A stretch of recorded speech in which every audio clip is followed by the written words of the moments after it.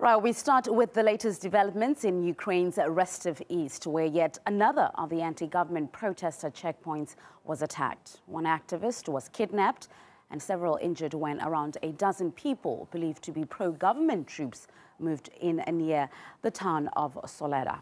RT's Paula Slier traveled there shortly after the incident. I'm here in Soledar, where within the last hour, a helicopter landed with what we're being told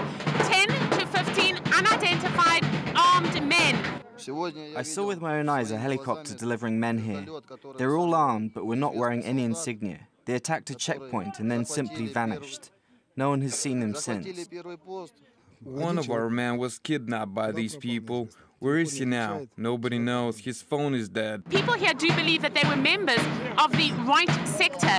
A gun battle ensued not far from where I'm standing. In fact, this is near the salt mines where there is an arms Now, there is an army base just to my right.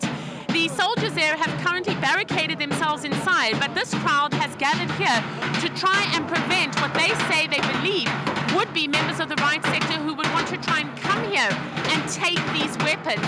We're hearing that there are some reports of injuries. We have no more information about the injuries at this stage.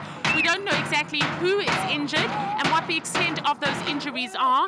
The situation at the moment is under control, but as you can imagine, very, very tense. Talking to the crowd here, they say that they have every intention to remain here, to stay defiant, and not to leave this arms depot unprotected.